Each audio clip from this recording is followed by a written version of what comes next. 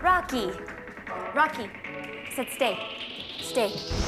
Hello. Hi. Doing a little dog training. I love it. yeah, come yeah. on in. I was just making you a charcuterie board. Oh, wow. Oh, that looks beautiful. You made this yourself? Um, yes. Really? Yeah. Great job. Chardonnay?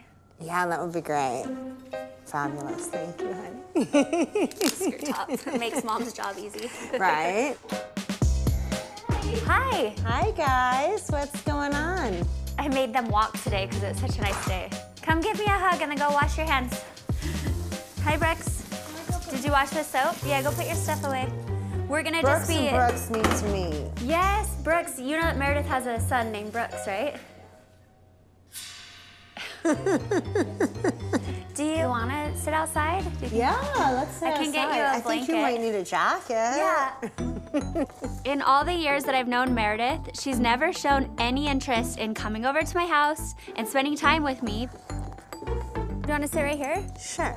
But since her recent falling out with Lisa, it seems she has time for me. You can wrap Oh, yourself you. up in that. Thank you so much. This is great. Now I'm comfy cozy. So what else is going on? Tell me. It's been a little, little crazy, right? Yeah, I mean, I feel like I need to ask you how you're doing. I'm okay, you know. Did you have fun at the party? Yeah, I mean, it was awkward with Lisa. You know, it's just, there's no like practice what you preach with her. She's so just hypocritical. And then she's always telling everyone else that they're hypocritical and they're wrong and they're this and they're that. She has badmouthed every single one of us in our circle. I don't want to lose our liquor license over somebody's wedding in their basement with a stripper pole. I used to hear stories. I think she was like the one that was like, honor code what? She was meeting up with somebody other than her family. That piece of shit, garbage whore. I hate her. She's a whore. She's half of me. You say to yourself, whoa, why are you so busy trying to put everyone else down in this way when there are all these rumors flying about you? Like, Well, what have you heard? Jen just made reference to there having been affairs. What do you know?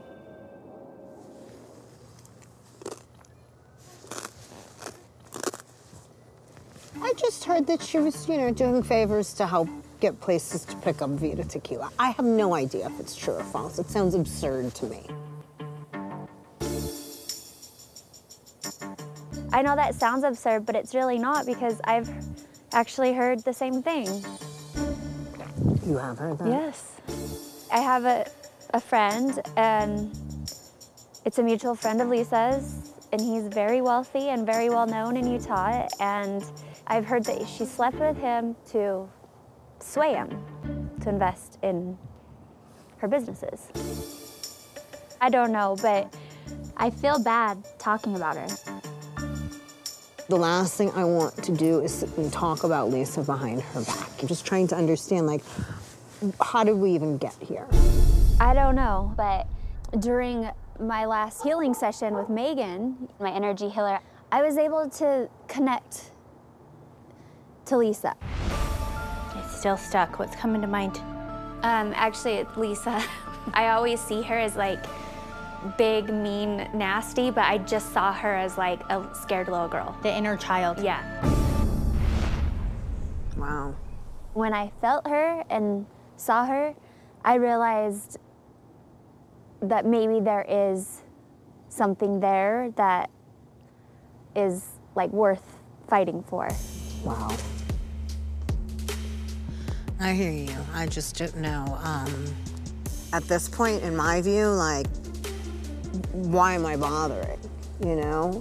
Yeah, but hear me out. So we have this trip coming up, and Jen, I know that she needs us.